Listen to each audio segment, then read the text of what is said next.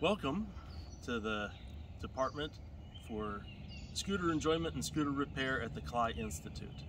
Uh, recently, we had an issue with this, the 2001 Vespa GTS 300 HPE, High Performance Engine. The difference between this and previous models is a conformance to Euro 5 compliance. What that means, it is including the Right to Repair Act.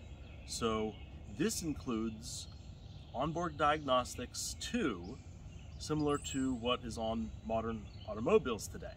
In previous versions, you needed the Vespa uh, Piaggio PADS system to communicate with the scooter and read the codes. Not so in this case.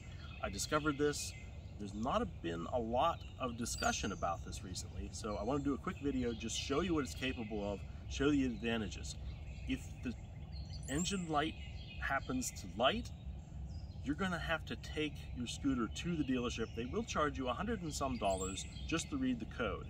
If you can do this on your own, then you can do this beside the road, wherever you might be. So let's come in and, and look and see what we've got. The um, adapter is a standard onboard diagnostics adapter. It has the 16 pin connector. This one happens to have both Bluetooth and Wi-Fi. I mean, you, you can use a standard handheld tool. Uh, you don't have to use the Android interface, but this is what I've got. This is what I've been using.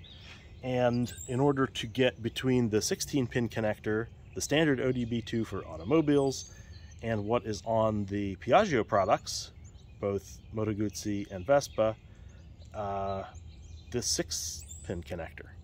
The connector, they don't tell you this really in the manual where it is. I'm going to show you. Let's open a seat. Take out the cargo carrier.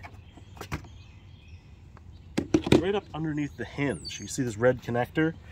Push it with your thumb, remove it. It says that there's a dummy in there to keep the dirt out of it. And you can see the six pin connector. The adapter plugs into the six pin connector.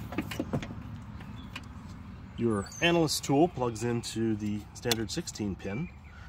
Uh, it will light up with power, but and uh, you know, but it's not going to do anything. I'm just going to temporarily close this and let it hang until we turn on the key on the scooter. It's going to go start looking for a PC connection, and uh, I have a a tool up here from author Ian Hawkins.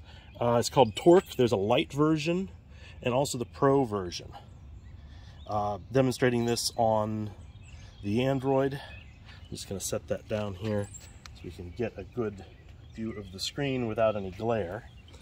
And um, so as you can go through, this is already connected. it's not a demonstration video of how to connect the, uh, the torque tool and use it, but you can, you can get these objects, uh, these display objects, you can move them around the screen, but it will tell you everything that's going on with your on by, onboard diagnostic system too. Uh, clicking the gear icon brings up the menu. What we were interested in is fault codes. The top item is fault codes. You can show logged fault codes, clear fault codes. This is the only write message you can do to OBD2 with this.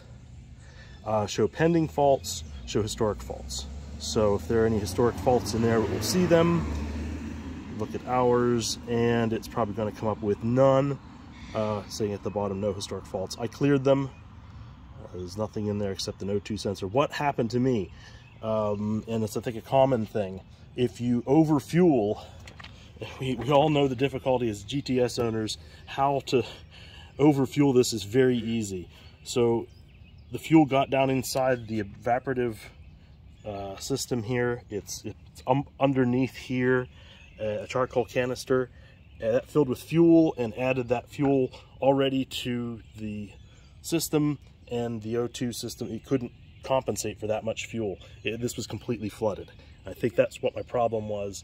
Uh, once it dried out, uh, it was fine. So um, hopefully this video was helpful. Thank you again for listening and uh, keep the shiny side up.